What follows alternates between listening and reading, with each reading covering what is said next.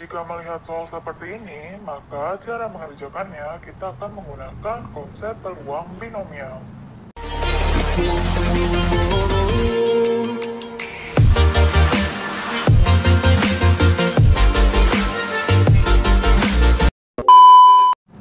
Kita menggunakan peluang binomial karena percobaan ini dilakukan sebanyak n kali.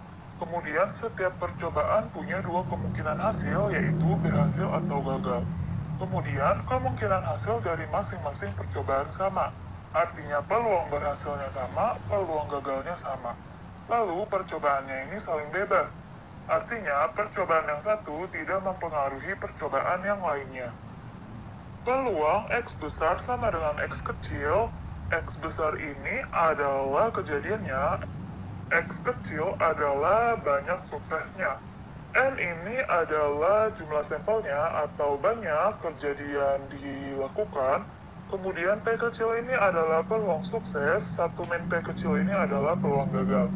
N faktorial sendiri adalah N dikali N min 1 dikali dan seterusnya sampai dikali dengan 1. Pada soal ini, seorang marketing asuransi menjual polis kepada empat orang laki-laki. Maka kita punya N-nya ini adalah 4. Kemudian, probabilitas seorang laki-laki dalam usia tersebut akan tetap hidup sampai 30 tahun lagi adalah 3 per 8. Maka P kecil kita adalah 3 per 8, sehingga 1 min P kecil kita adalah 5 per 8 ya kita diminta menghitung. Yang pertama adalah semua laki-laki tersebut akan tetap hidup. Laki-lakinya ada 4, maka kita menghitung peluang X besar sama dengan 4. Ini adalah 4 faktorial dibagi dengan 4 faktorial dikali dengan 0 faktorial.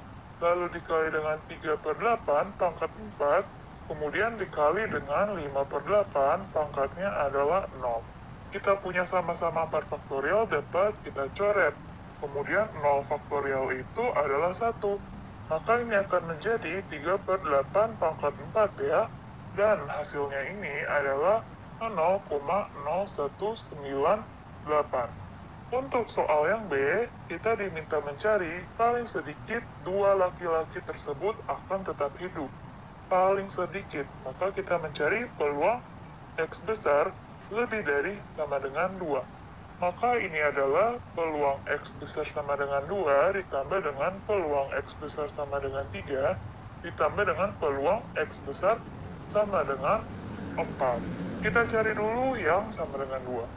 Caranya sama saja, peluang X besar sama dengan 2 itu adalah 4 faktorial dibagi dengan 2 faktorial dikali dengan 2 faktorial dikali dengan 3 per 8 pangkat 2 dikali dengan 5 per 8 pangkat 2. 4 faktorial adalah 4 dikali 3 dikali 2 faktorial dibagi dengan 2 faktorial dikali dengan 2 dikali dengan 1 dikali dengan 3 per 8 kuadrat dikali dengan 5 per 8 kuadrat. Kita punya sama-sama 2 faktorial dapat kita coret, ini kita sederhanakan, maka setelah dihitung, ini hasilnya adalah 0,3296. Lalu kita cari yang sama dengan 3, 4 faktorial per 3 faktorial dikali 1 faktorial dikali 3 per 8 pangkat 3 dikali 5 per 8 pangkat 1. Setelah kita hitung, hasilnya ini adalah 0,1318. Maka peluang X lebih besar sama dengan 2 adalah 0,3296 ditambah dengan 0,1318 ditambah dengan 0,0198 dan hasilnya adalah 0,4812. Untuk soal yang C, kita diminta mencari peluang hanya tiga laki-laki yang tetap hidup. Maka ini adalah peluang X sama dengan 3, kita sudah cari nilainya, tadi adalah 0,1318. Untuk soal yang D, paling banyak tiga laki-laki tersebut yang akan tetap hidup. Paling banyak. Maka akan menjadi peluang X kurang dari sama dengan 3 ya. Peluang X kurang dari sama dengan 3 ini kita bisa ubah menjadi 1 dikurangi dengan peluang X lebih dari 3. Kita bisa melakukan seperti ini karena peluang A itu adalah 1 dikurangi peluang A komplement ya.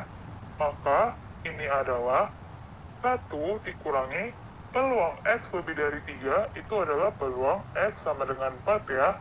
Maka ini adalah 1 dikurangi 0,0198 dan hasilnya adalah 0,980